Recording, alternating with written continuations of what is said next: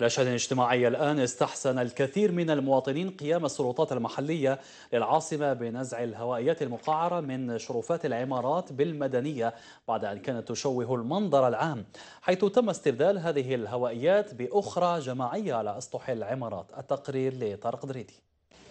هي عمارات في العاصمة أصبحت شرفاتها لا تحتوي على هوائيات مقعرة هوائيات لطالما أفسدت الوجه الجمالي لأغلب الأحياء.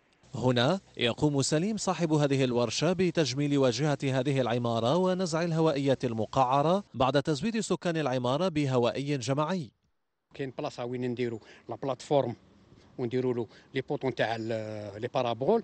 بلي ميزير تاعهم قال بنادم ماشي قال من هبه من دبة هو يعطينا ما كاش الكيل كيفاش نخدموهم. من البارا للبارا كاين حوالي ما كاش متر ونص لا ديستونس ما بيناتهم. من بعد ما نديروا إحنا هذاك العامل هذاك يجي هو ينستالي les assiettes نتاعو وينتم في المهمة نتاعو. هو اللي يدير يخرج الخيوط حتى ال switcher من switcher يديستريبي les locataires. حميد هو أحد سكان هذه العمارة التي تم استبدال هوائياتها الفردية التي كانت فيما قبل؟ تشوه المنظر العام بأخرى جماعية لا تشوه المنظر العام وتوفر صورة عالية الجودة.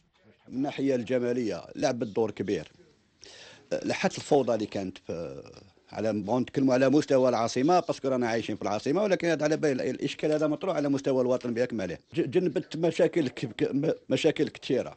بالدرجة الأولى قضية نوعية الإرسال.